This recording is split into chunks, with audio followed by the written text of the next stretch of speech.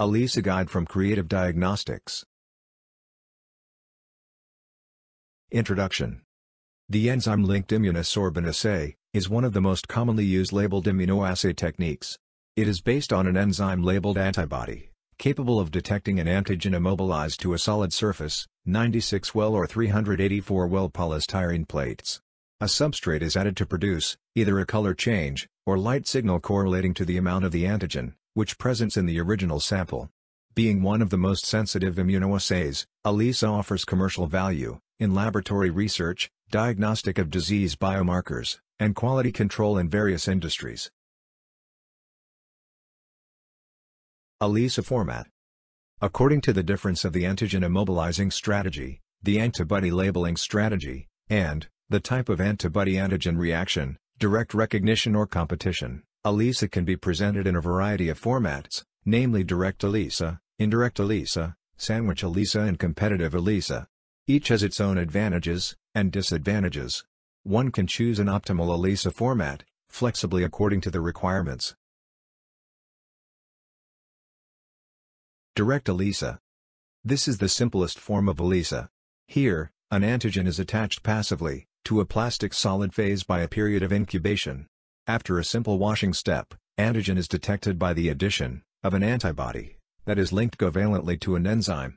After incubation and washing, the test is developed by the addition of a chromogen or substrate, whereby enzyme activity produces a color change. Color development is read, after a defined time or after enzyme activity is stopped, by chemical means at a defined time. Indirect ELISA Antigen is passively attached to wells by incubation. After washing, antibodies specific for the antigen, are incubated with the antigen.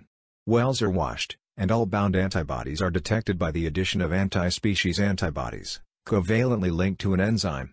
Such antibodies are specific for the species, in which the first antibody added, were produced.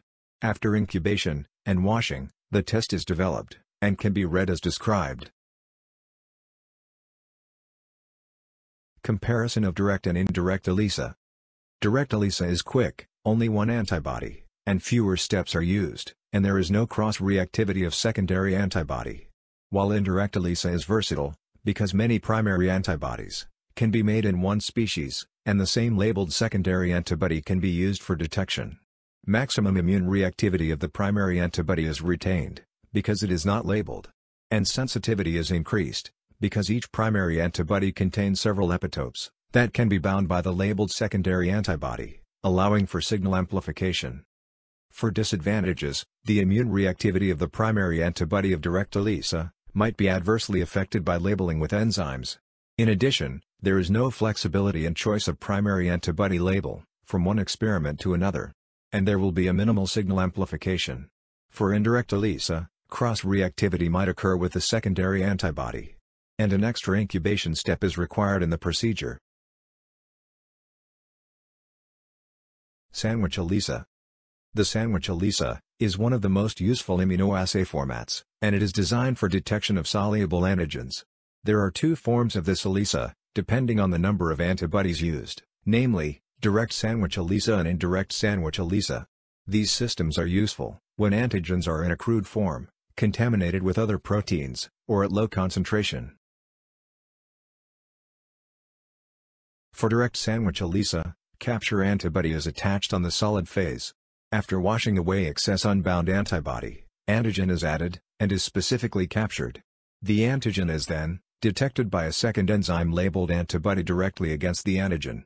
This type of assay is useful, where a single species antiserum is available, and where antigen does not attach well to plates. For indirect sandwich ELISA, the antigen is detected, with the second unlabeled antibody. This antibody is in turn detected using an anti-species enzyme labeled conjugate. It is essential that, the anti-species conjugate does not bind to the capture antibody, therefore, the species in which the capture antibody is produced, must be different. The advantage of this system is that, a single anti-species conjugate can be used, to evaluate the binding of antibodies from any number of samples. Competitive ELISA The systems described above, are the basic configurations of ELISA. All of these can be adapted to measure antigens, or antibodies using competitive, or inhibition conditions. Competition ELISAs are particularly useful for measurements of antigen concentration, in complex mixtures when the unknown samples, that may contain antigen are compared to similar samples, that contain known amounts of purified antigen.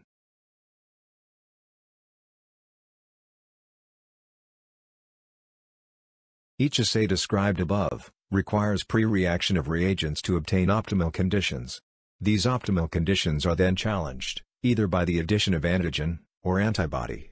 As the amount of free antigen, or antibody in solution increases, the amount of antibody, or antigen that will bind to the immobilized substrate, decreases.